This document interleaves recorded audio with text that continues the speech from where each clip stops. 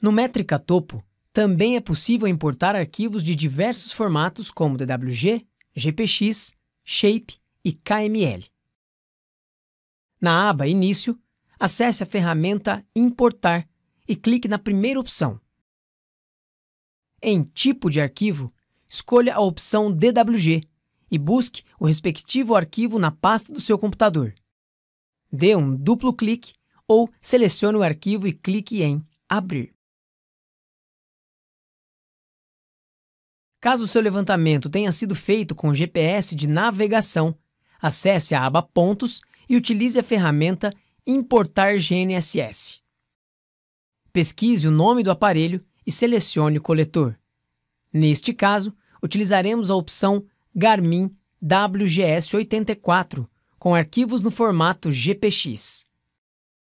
Clique em Importar, busque o arquivo no formato GPX na pasta do receptor e clique em Abrir para importar os pontos.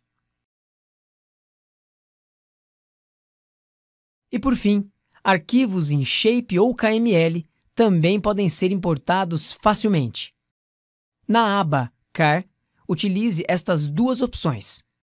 Em Importar KML, basta selecionar o arquivo, clicar em Abrir, configurar as georreferências e clicar em OK.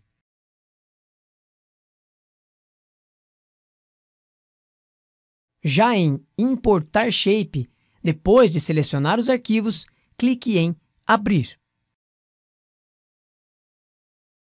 Caso queira trazer mais shapes para importação, clique na opção Importar novos shapes e selecione mais arquivos.